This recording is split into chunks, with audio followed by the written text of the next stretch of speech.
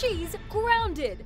That's the word from United Airlines about the flight attendant who deployed the emergency chute for no reason, slid down, and simply strolled off at the airport in Houston. Watch as the flight attendant triggers the emergency slide. First, she tosses out her bag, then slides on down. And there she is, heading for the bag before walking away.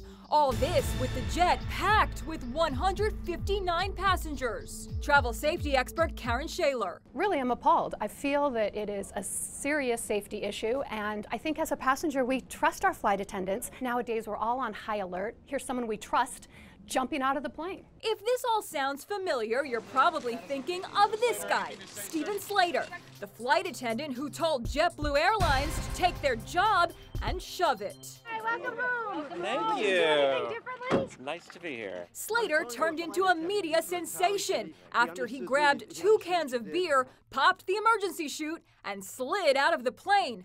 Needless to say, he doesn't work there anymore. I've had people walk up to me and tell me how incredibly unprofessional I am.